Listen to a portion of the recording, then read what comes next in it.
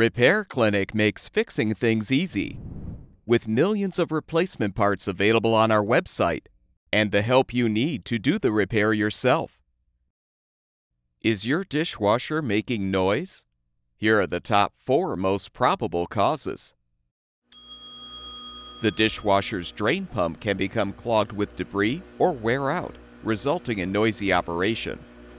You can try cleaning out any debris or replace the pump altogether. Over time, the bearings inside the circulation pump can fail, creating a continuous droning sound when the appliance is running.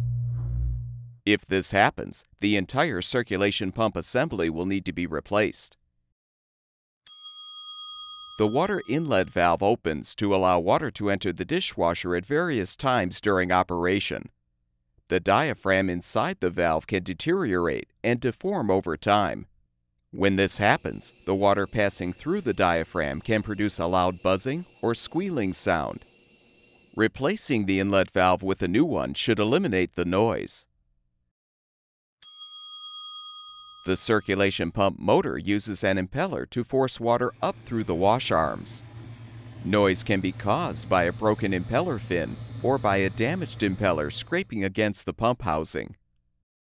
Depending on your model, you may be able to replace the impeller independently of the motor. For additional troubleshooting information, enter your appliance's full model number in our website's Repair Help search bar. At Repair Clinic, we make fixing things easy. Thank you for supporting the production of these videos by purchasing your parts from our website.